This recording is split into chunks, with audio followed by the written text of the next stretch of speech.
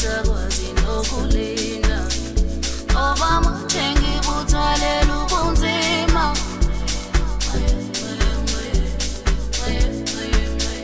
Kosi ngicela